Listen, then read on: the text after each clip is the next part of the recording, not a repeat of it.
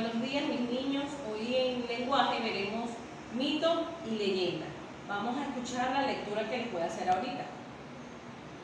Tiene por título ¿Por qué aparecieron las estrellas? Mayoguata mandó un día a su hijo a la pesca, no sin antes indicarle que pescara solo dos peces. El hijo olvidó la orden del padre y pescó una gran cantidad de peces.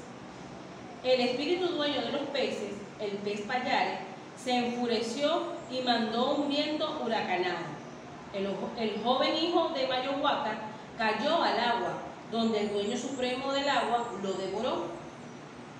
Para salvar a su hijo, Mayohuaca puso unos grandes bloques de piedra en el agua. Así creó los raudales y chorros de los ríos, que facilitarían la pesca. Pescó al pez payare, le cortó sus entrañas y sacó de ellas a su bien amado hijo. Este no quiso ya vivir en la tierra, y Mayohuaca lo convirtió entonces en las estrellas del cielo, para que pudiera ver la tierra y también para que los hombres pudieran verle a él, a su hijo amado que ya no estaba entre los hombres. Esto que le acabo de leer es un mito. ¿Y qué es un mito?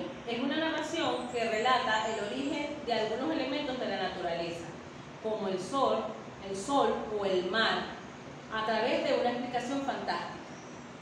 Eh, al leer nosotros o escuchar un mito, podemos encontrar o conocer cómo algunos pueblos explican el origen del mundo, de las montañas, de la luna, del fuego, entre otros elementos, como nosotros aquí en este mito no podemos dar cuenta de cómo nacieron las, las estrellas.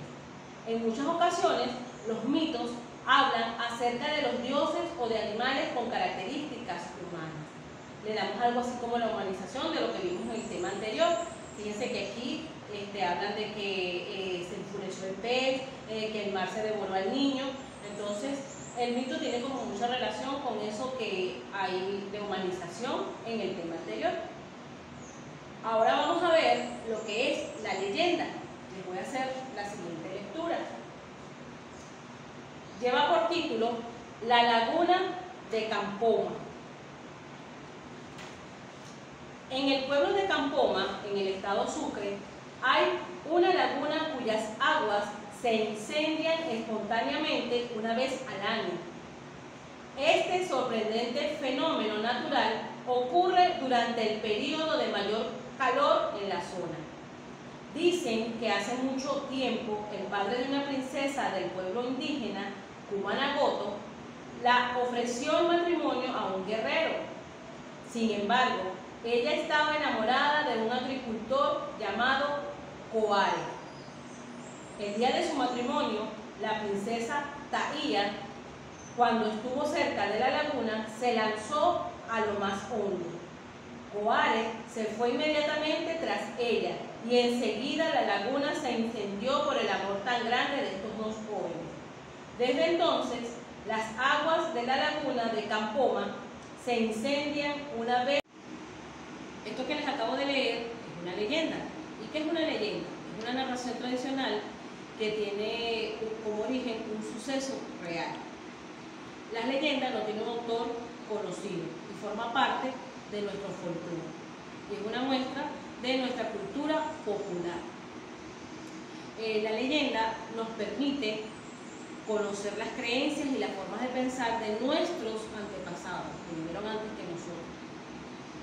Por lo general, los protagonistas de las leyendas son seres humanos. Estas personas se convierten en héroes y hasta pueden llegar a tener características fantásticas. Bueno, mis niños, este es el tema de lo que es mito y leyenda. Espero les sirva para realizar las actividades que tienen en la página. Recuerden enviar las evidencias, hacerlo en orden y bueno, nos vemos en la próxima clase. Chao, chao.